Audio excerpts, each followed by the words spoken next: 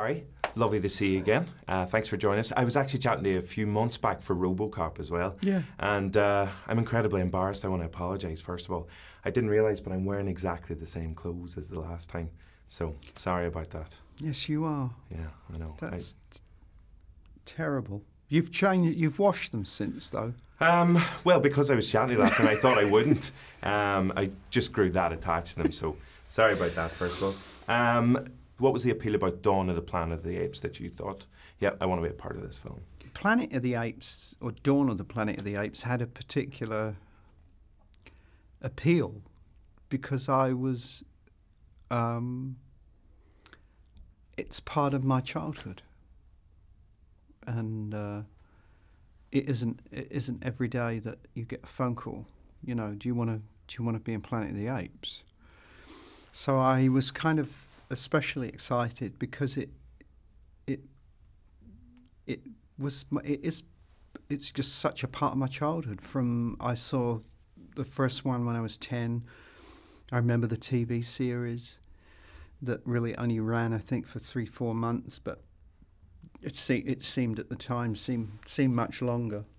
Um, so that was, uh, and I thought the coupling of the Matt Reeves and what I'd seen him do in Cloverfield, um, and the remake of Let Them In, I thought him and this material would de- would deliver something, you know, special, and I think he's, I think he's done a remarkable job with it. Yeah, We're- no, I absolutely love the we're, film. we're, we're really proud of it. I think it's Yeah.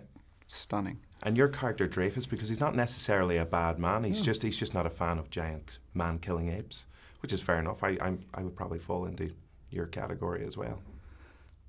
Well, I mean, he makes the sort of ultimate sacrifice. I mean, he wants to save humanity. Um, and uh,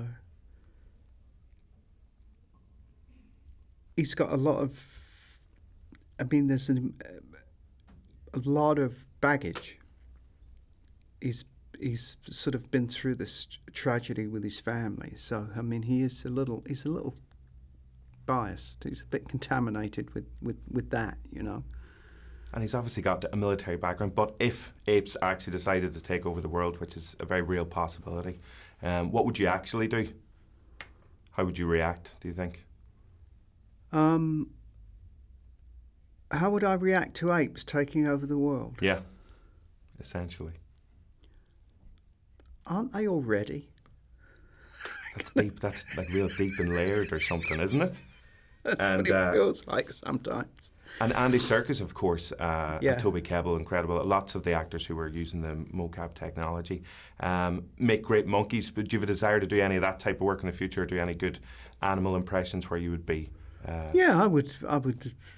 Yeah, I've done the performance capture. I mean, I've done motion capture.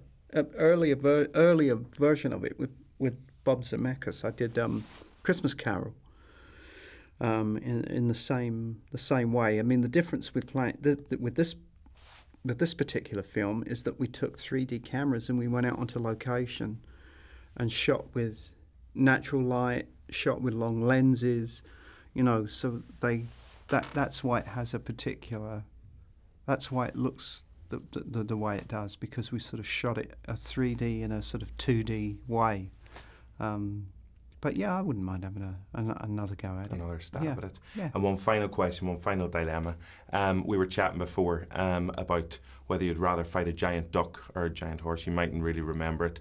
But uh, another dilemma was from one of our readers would you rather eat chocolate flavoured poop or poop flavoured chocolate? Um,